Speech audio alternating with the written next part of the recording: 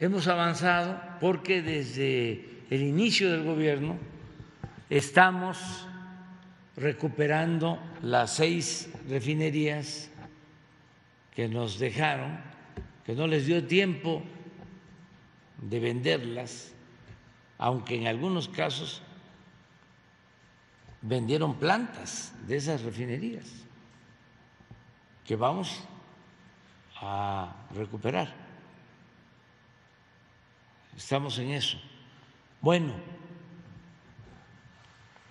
nos dejaron eh, refinerías con capacidad para procesar 35% de petróleo,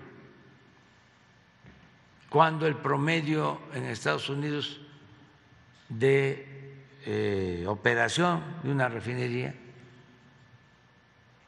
su capacidad para procesar crudo es en promedio 80%.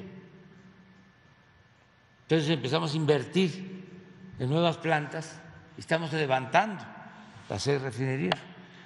Y ya hemos avanzado. Hemos dejado de importar casi el 50% de las gasolinas y como tú lo mencionas, ya con la compra de la refinería de Deer Park somos autosuficientes en diésel.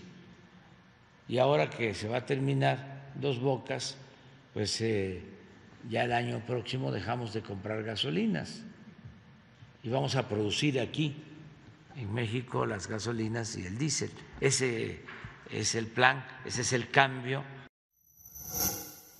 Gobierno de México.